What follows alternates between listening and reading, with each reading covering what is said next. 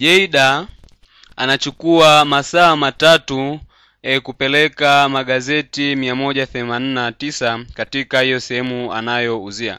Sasa atachukua kiasi cha muda gani katika kuuza hayo magazeti yake? Kwa hiyo utachukua hapo hayo masaa matatu ambayo anatumia katika kupeleka kuuza hayo magazeti yake mia moja themanini na tisa.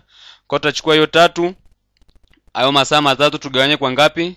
Kwa hayo magazeti mia moja themanini na tisa, ili tuone kwamba je, atachukua muda gani katika kwenda kuuza hayo magazeti yake. Kwa hiyo tunataka tugawanye hapo, naweza nikaandika kwa mtindo huu mia moja themanini na tisa hayo magazeti tuweze kugawanya kwa ngapi?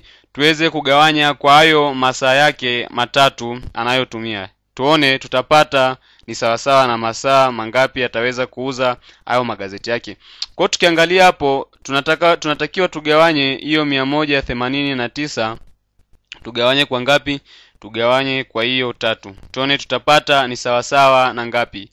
E, kwa kugawanya vizuri, nataka nitumie njia ndefu ili niweze kugawanya vizuri na kila mtu aweze kuelewa hesabu letu hilo. Kwa hiyo tutachukua tutachukua mia moja themanini na tisa nitagawanya kwa tatu, ambayo tatu itaingia mara sita ni kumi na nane. Tatu hapo itakuwa imeisha, nitashusha tisa, ambayo tatu itaingia mara ngapi? Tatu itaingia kwenye tisa mara tatu, ambayo tatu mara tatu ni tisa. Tutatoa hapo, itabakia ni sawasawa na sifuri.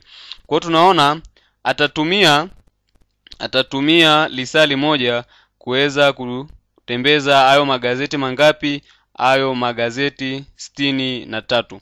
Kwa hiyo sasa tumeshaona kwamba kumbe kwa lisali moja atakuwa ametembeza au ameuza hayo magazeti sitini na ngapi? Sitini na tatu. Kwa tutachukua hiyo sitini na tatu tutagawanya kwa moja, magazeti sitini na tatu tutagawanya kwa hilo lisali moja tuone tunapata sawa sana ngapi.